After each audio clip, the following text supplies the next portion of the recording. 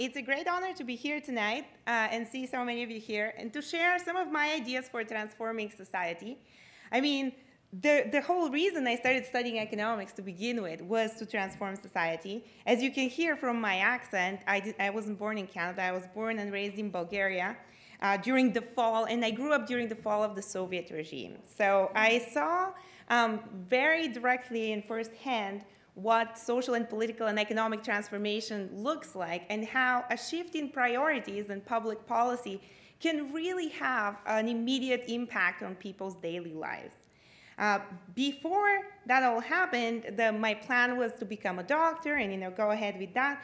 But uh, by the time I, I was old enough to go to university, I had already seen the kind of hardship and suffering that poorly designed economic policies can cause a community are almost as big or even bigger in some cases than physical illness. So instead of being a doctor, I decided to become an economist and try to work with economics towards transforming society and making people's lives better. And this is the kind of work we do at the Canadian Center for Policy Alternatives.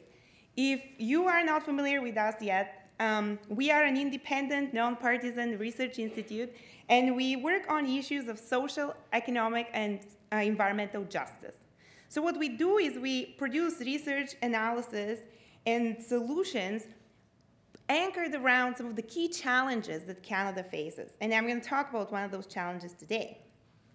The key, though, that I think really defines our work, besides being awesome nerds or cool nerds, I can't remember the exact phrasing Kevin used, is that we um, develop bold policy solutions, or wild ideas, if you like, that unite people instead of dividing them.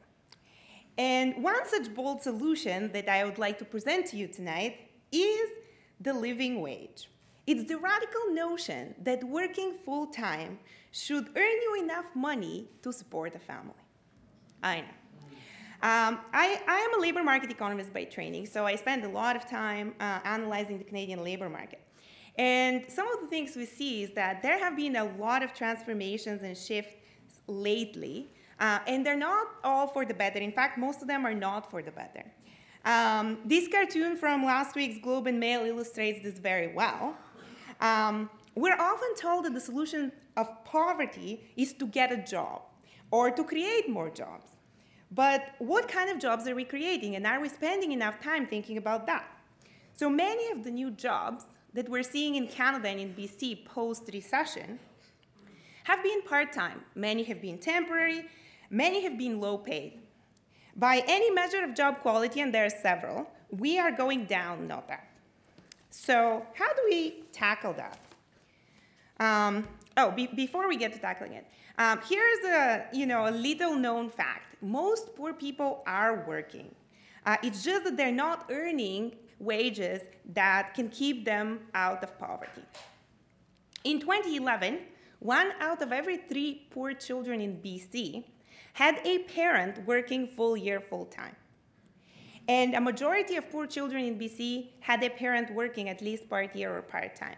It's just that they were not earning enough to support the family. Now, some people like to tell themselves, and maybe tell you, that low wage jobs are just for teenagers. They keep them for a couple of years while they're in school and then they move on.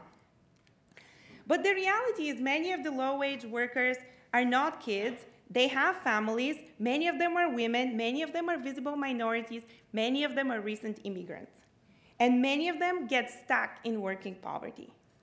Now, just think about it. Every time we open a new hospital, a new university, or a new tech company, um, we do create a lot of well paid jobs, but at the same time, we also create a number of low paying jobs that are usually contracted out to service the auxiliary work that these institutions need security, catering, cleaning, or even general admin.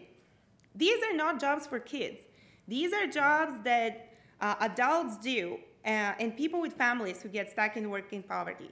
So it's important to remember that our economy has shifted towards um, huge dependence on this local low-wage sector. And this is something we need to work on. We need to work on it because families who work for low wages face impossible choices feed the children or pay the rent, heat the house or buy a new winter jacket. The result is spiraling debt. The result is long-term health problems, constant anxiety. The result is people taking many jobs, as in the cartoon. Um, and this means that they have little time to spend with their family, little time to help their children with schoolwork, little time to do anything if, if the family is in crisis. It's, it's not just a great hardship for the people in working poverty stuck in those families, it affects all of us. We all pay for the consequences of poverty.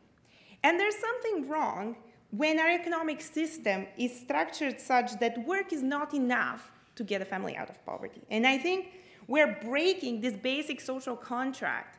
The notion that says if you work hard, if you play by the rules, you're gonna have a decent life. And that's not what we see in BC.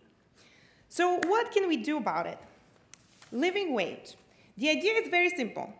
Instead of thinking about um, the wage as a cost, think about what uh, a family actually needs to earn in order to afford to live here.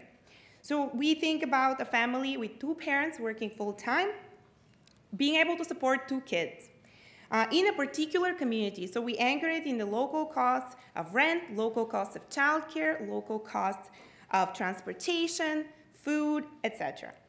So for Metro Vancouver, um, I have been producing the calculation for the living wage in Metro Vancouver for the last five years, and in 2014, the living wage was $20.10. So this why is this a transformative idea? One of the interesting things that the living wage makes us do is think about not just the earnings that we get to pay for private consumption of, you know, childcare and housing, but also what can we get through services? What is the value of the healthcare we get through our taxes? What is the value if we had a childcare plan? And here we can see that the childcare plan actually would reduce the living wage by about $3.57 an hour. So if you are an employer, public sector, municipality, um, university, business, uh, nonprofit, consider paying the living wage. Consider what it costs to, to have people pay. And I'll tell you, I know I'm running out of time, but one reason why I think this idea is particularly transformational, and it is because it is a social transformation when you think about wages in that way. Um, when we talk to employers, and we do a lot of talking to employers, something interesting happens.